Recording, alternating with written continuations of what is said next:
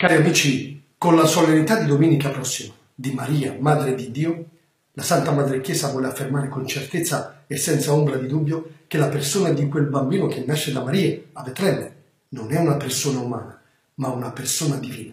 Ed è esattamente il Verbo del Padre, la seconda persona della Santissima Trinità.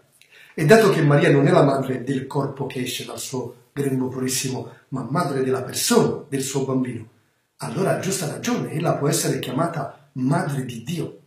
Madre di Dio in quanto uomo, chiaramente, e non in quanto Dio, perché in quanto Dio il Verbo è coeterno con il Padre e lo Spirito Santo. In principio era il Verbo, e il Verbo era presso Dio, e il Verbo era Dio, come ci ricorda San Giovanni nel bellissimo prologo al suo Vangelo.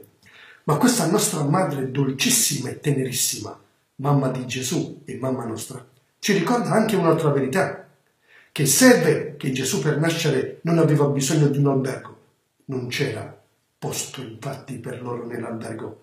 E solo perché Dio solo alberga in un cuore puro.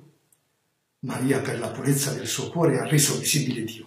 Cari amici, non è un caso se Gesù proprio in questo secolo in cui il cuore dell'uomo come mai prima è ostaggio del male ha voluto, attraverso la vita e l'opera di una piccola grande anima chiamata Madre Liliana del Paradiso, far conoscere la sua mamma con il nuovo titolo di Regina dei Gigli, perché si diffondesse e fosse accettato il suo messaggio di purezza.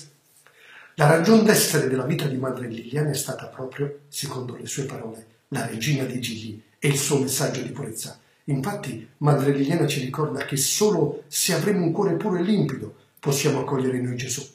Da qui la corata invocazione alla Regina dei Gigli, riempici del tuo amore, o oh mamma dolce e tenera, purificaci alla vera sorgente dell'amore. Cari amici, senza la purezza del cuore non c'è Dio e dove non c'è Dio non c'è pace. Ecco la missione della Madre di Dio che, finché ci sarà il mondo, non sarà mai conclusa.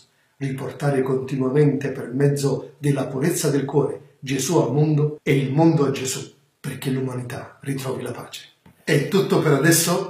Permettetevi di augurarvi ancora una volta un felice anno nuovo. Dio vi benedica sempre.